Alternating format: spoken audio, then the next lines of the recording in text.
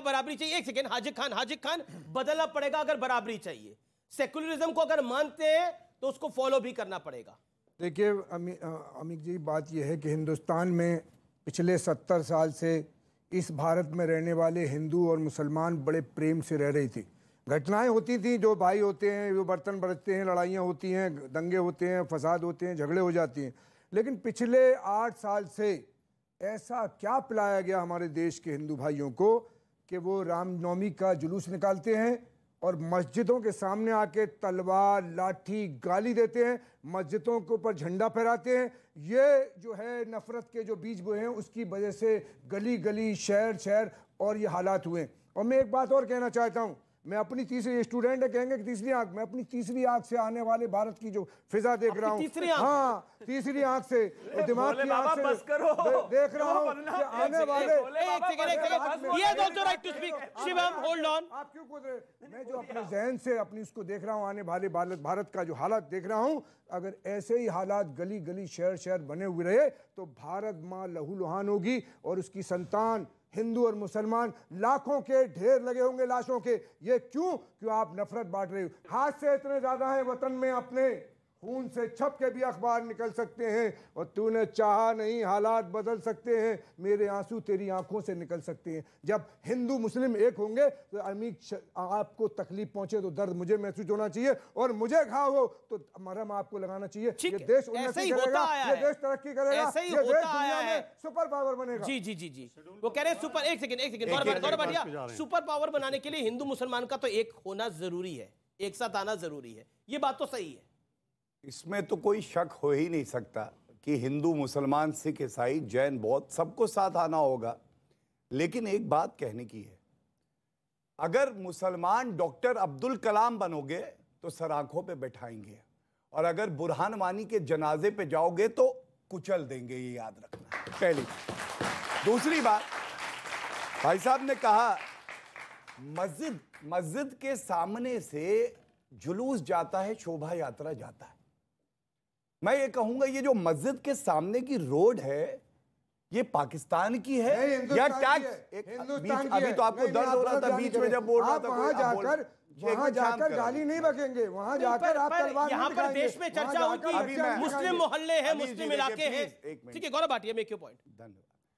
मैं केवल इतना कहना चाहता हूँ चाहे मस्जिद के सामने की रोड हो या मंदिर के सामने की रोड हो ये टैक्स पेयर के रुपए की है।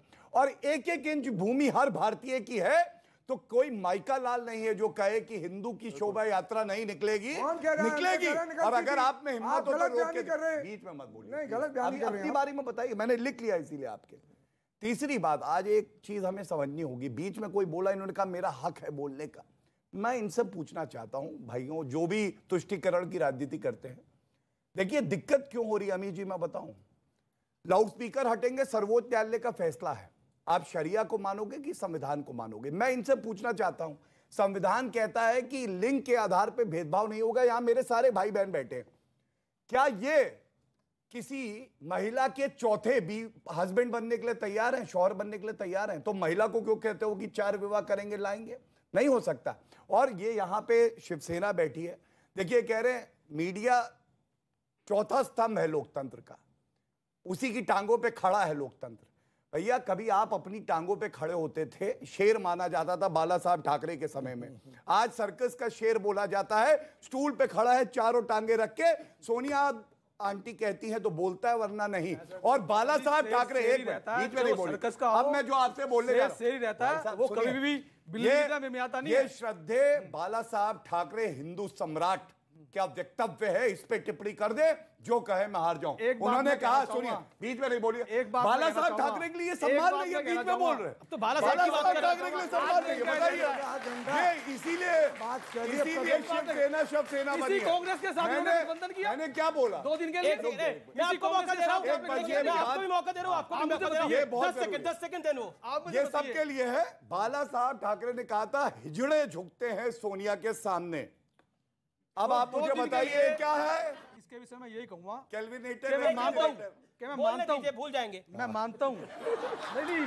बोलिए बोलिए। नहीं नहीं मैं मानता हूँ। मानता हूँ। मैं मानता हूँ कि शिवसेना को कांग्रेस के साथ गठबंधन नहीं करना चाहिए था मगर मगर बड़ी खबर मगर मगर मगर अपने 30 साल के साथियों को 30 साल पुराने साथियों को ढाई साल के लिए सीएम देना ठीक ऐसे था जैसे पांडवों को पाँच गाँव देना। ठीक ठीक गलती इनकी भी है। ठीक, ठीक, ब्रेकिंग न्यूज़ चला हाँ, दीजिए मतलब आप कह रहे हैं कह दिया उद्धव उद्धव ठाकरे जी सोच रहे होंगे कैसा जाए? है? अच्छा, मेरी बात है, काट है, दी राजकुमार भाटी राजकुमार भाटी राजकुमार भाटी आपकी टर्न है क्या 30 साल के पुराने साथियों को ढाई साल के सीएम नहीं देना नहीं पर राजकुमार भाटी के पास मैं जाऊँगा उसके पहले एक तो सवाल ले लेता हूँ मैं।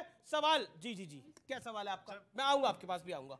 जब हिंदू का मंदिर टूटता है तब वो सहिष्णु होकर देखता है। लेकिन जब मुसलमान का मस्जिद टूटती है तब वो क्यों पत्थरबाजी करता है? मेरा सवाल हाजिक सर से। तब पर ना जी जी जी। ना तो किसी के मंदिर तोड़ने की किसी को अधिकार है हमारे संविधान में ना ही किसी मस्जिद को तोड़ने की हमारे भारत के संविधान में जगह है। हमारा देश सेकुलर है और जब आज़ादी के बाद हिंदुस्तान में जो मुसलमान रुका वो किसी के कहने पे नहीं रुका। जबकि हमें मुल्क बनाने के लिए आज़ादी थी हम बाई चॉइस हिंदुस्तानी है? हमें बाई चॉइस हिंदुस्तानी हैं। हम अपनी चॉइस से रुके हिंदुस्तान में क्योंकि हमारी लाल किले में हमारी ताजमहल में हिस्सेदारी थी। ख्वाजा गरीब नवाज़ मुनीन अलैह ये हमारे यहाँ दफन थे इसलिए हमारी मुल्क पे प्यारा था। इस मुल्क में हम इसलिए रहे। हर चर्चा में बोला जाता है और खासकर कुछ मुसलमान प्रवक्ता आके कहते हैं हमें पाकिस्तान मिल रहा था, हमने अपनी इच्छा से हिंदुस्तान चुना। अरे, बड़प्पन ये नहीं है कि आपने हिंदुस्तान चुना। बड़ी बात यह है कि हिंदू और मुसलमान, ये पैमाना था देश बनाने का। भारत और पाकिस्तान हिंदुओं ने कहा, भाइयों, हमारे साथ रहो, लेकिन बराबर से रहो। ये नहीं कि हमसे ऊपर आप नमाज़ पढ़ोगे, रोड बंद होगी, रामनवमी का जलूस निकलेगा, पत्थर मारोगे, आर्टिकल 370 को धर्म से जोड़ोगे, हिजाब को धर्म से जोड़ दोगे यूसीसी को धर्म से जोड़ दोगे। अरे, संविधान पढ़ो संविधान पढ़ो संविधान पढ़ो। आर पार में रुकेंगे एक ब्रेक के लिए न्यूज़ एटीन इंडिया पर, लेकिन ब्रेक के बाद भी ये चर्चा जारी है। ये उंगली नीचे है। उंगली नीचे उंगली- नीचे नहीं होगी। गुंडों को बुलाया है? ज़्यादा गुंडा गुंडागर्दी मत करो, जो करना करो खड़ा हूँ।